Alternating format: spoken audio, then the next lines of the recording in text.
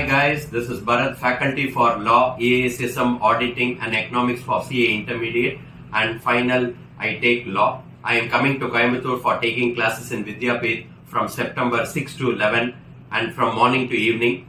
It will be fun-filled sessions. It will be enormous amount of conceptual clarities. Not just that, there are so many techniques that we use like mnemonics, reverse psychology, numbers game, Parthu Kadai Sol. There are so many techniques that is waiting for you. So you can connect with them for the demo lectures of EISSM as to how I will be taking up classes. People uh, who know me, there is no uh, requirement for uh, introduction, but for people who do not know, you can go and get connected with the EISSM demo lectures from them. You can contact them and they'll be able to help you all details.